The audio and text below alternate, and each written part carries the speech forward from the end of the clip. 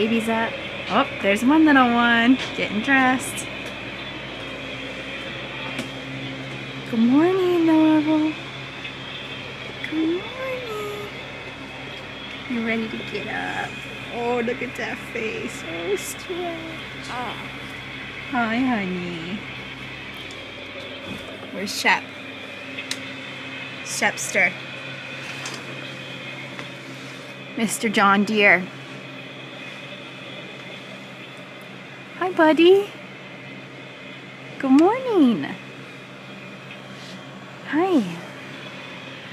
Guess what Mama just drove? I drove the tractor. Do you want to drive the tractor today with Daddy? Yeah, we gotta get some breakfast first, though, right?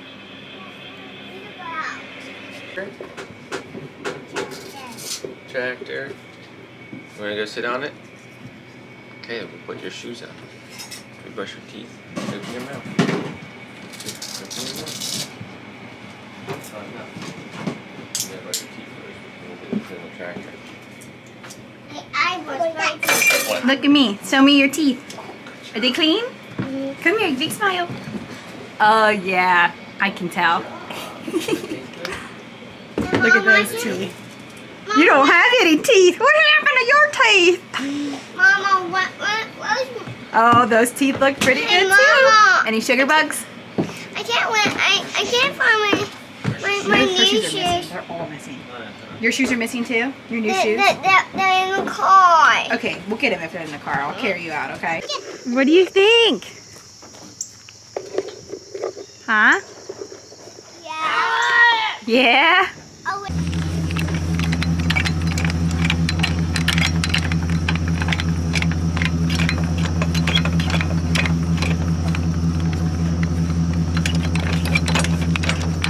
Try to get that plate off, Huck?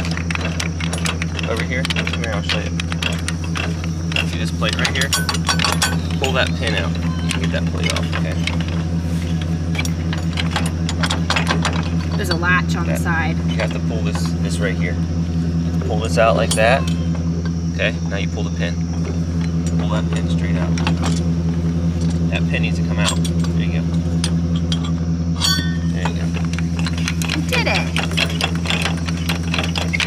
Now put the pin back, okay? Put it back on the plate. And we'll put it in the back of the van. Put it back to the holes.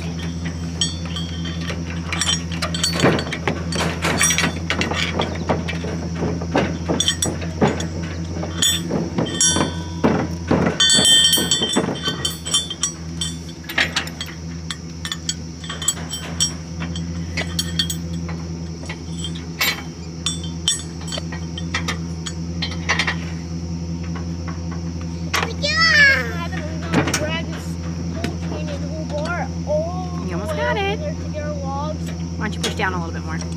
I'm going, I'm going down the Oh, we get long over there today. Hey, Daddy. Yeah, what? Do we, have do we still have the ratchet straps in the back of the van? Trailer. Ratchet straps? 30 minutes. Yes, I figured. I'm standing on this trailer. Did you get it? You got it. You did it. Show me.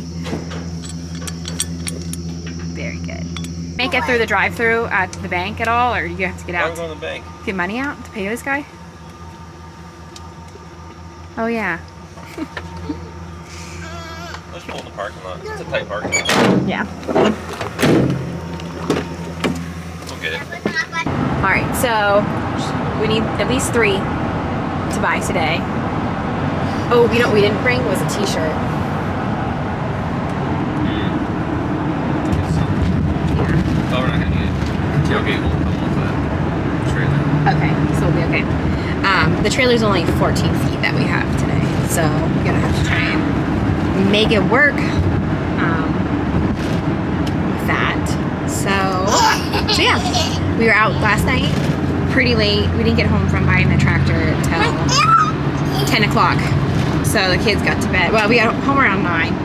And then the kids obviously were up and they were excited. So we um, go to bed till. And then I set my alarm for 5, but I laid in bed for like an hour. now we're up and rolling. All right.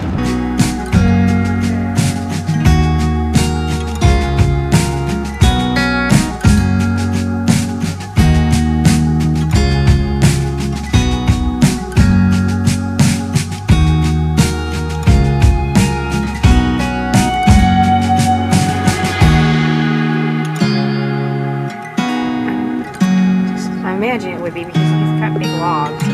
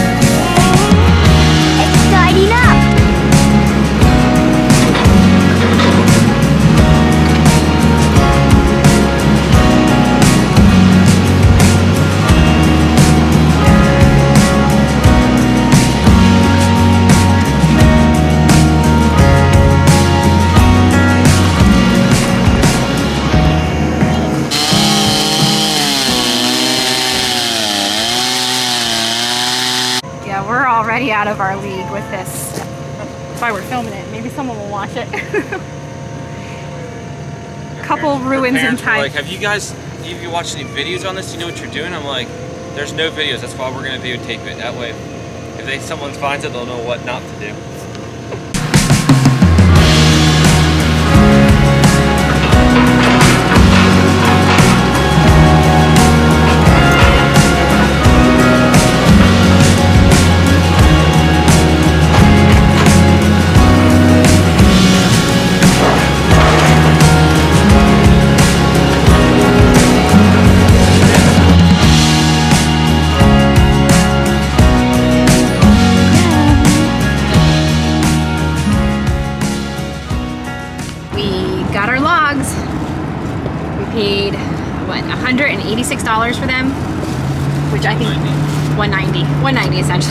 We didn't have change, so it, that's what it was. But it's fine though, because he cut them for us too, which is great because our chainsaw right now is dull. So that was fantastic, and it was great because he had the forklifts on the Kubota, which is great too for loading everything. Worked out really, really nice. We'll probably be coming back to him in the near future if he still has logs, so we can uh, finish the other side of our house. So we're gonna drive home from Maryland, drop off the logs, and then we're probably gonna run to uh, like Lowe's, and we're gonna pick up um, a sprayer, so we can like a like a handheld sprayer, so we can um, fill it full of the borate. I don't know if it's actually called borate. We keep calling it that. I should probably check and see what the Shell guard. shell guard. We should probably start calling it shell guard. It's not borate. So we're gonna use shell guard as the insecti- insecticide. we're waiting for the logs to dry, and then once they're dry, we will apply that. We want to we want to get ready, so we're ready to roll on that. Um, because that's going to take about two weeks for that to really soak into the logs before we can do anything else. Um, is there anything else that we're going to try to do today? Uh, we're gonna get a pump jack, a bottle jack, Get a bottle jack. jack our house up. Sell those at Lowe's. Lowe's. Do we need one or two? Get one. One.